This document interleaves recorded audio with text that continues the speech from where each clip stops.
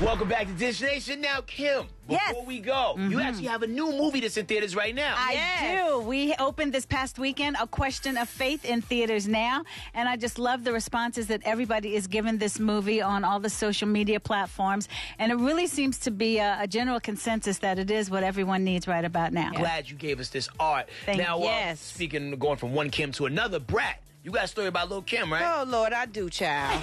Lil Kim paid tribute to Hugh Hefner in her own unique way. She posted her Instagram photo and wrote, This is one man that I thought would live forever. Ugh, I'm so brokenhearted that I didn't get to spend more time with him. I remember turning down a non disclosed seven figure offer from Hugh. Until this day, I regret it. Now, this will probably shock you guys, but um, I actually have a, a a cover story of my own, a Hugh Hefner cover story. Wait, you did Playboy? No, no, no, no. See, I didn't Were you say gonna that. do I didn't say- Playboy? See, hold your phone. Okay, hold, sorry, hold, hold your phone. Hold your phone. Hold your phone. No, I was at a restaurant once uh, in LA, uh, and uh, I saw, you know, Mr. Hefner there was surrounded by his, his friends and things, and I had my blonde locks. And so uh, as I was walking out, I looked at him and I said, Hey, have you ever had anyone with locks on the cover before? And he actually said, No, would you like to be the first?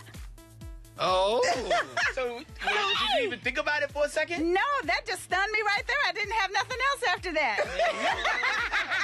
You can't throw out the suggestion and not be real in the office, huh, Mom? She didn't follow through. She was still stuck like this. I was- uh.